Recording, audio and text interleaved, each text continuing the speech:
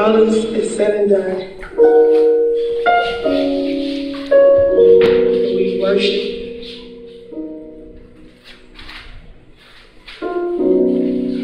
We cried out loud, we laid prostrate.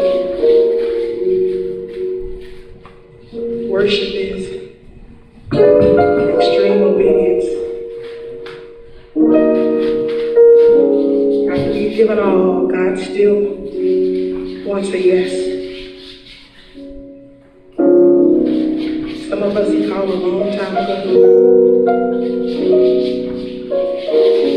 doing what we want to do.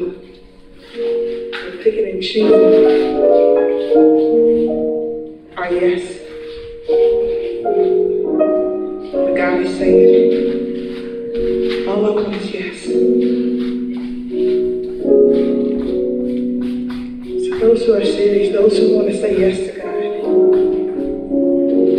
just lift your hands right now and just begin to tell the Lord, yes. Be careful, yes might cost you everything.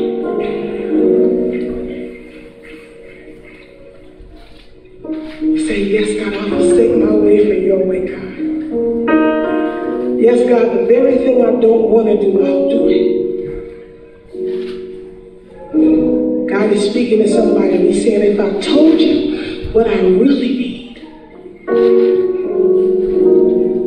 would you still